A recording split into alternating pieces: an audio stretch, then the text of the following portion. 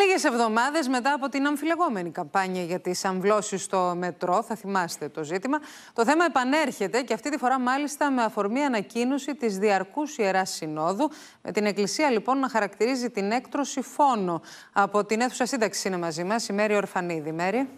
Νίκη, κυρίες και κύριοι, η λεγόμενη και μικρή σύνοδος της Εκκλησίας της Ελλάδος, η οποία αποτελείται από τον Αρχιεπίσκοπο Ιερώνυμο και 12 συνοδικούς Μητροπολίτες, θέλησε σήμερα να υπενθυμίσει σε όλους τους τόνους και χωρίς να φοβάται τις λέξεις το τι ισχύει για τις εκτρώσεις στην Ορθόδοξη Εκκλησία. Χαρακτηρίζει λοιπόν, όπως είπες και εσύ, φόνο τη διακοπή των κοιήσεων και στο ανακοινωθέν που εξέδωσε νωρίς το απόγευμα, αναφέρει ότι εκφράζει την θεολογική αυτής θέση περί του εμβρίου Νοεμβρίου ως πλήρους και ακεραίου ανθρώπου από τη στιγμή της συλλήψεώς του, γι' αυτό και θεωρεί την εκουσία έκτρωση ως φόνο και δεν την αποδέχεται.